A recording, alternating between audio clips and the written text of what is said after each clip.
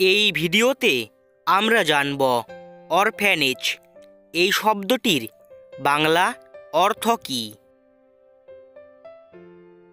Orphanage এই শব্দটির বাংলা অর্থ হবে অনাথ আশ্রম।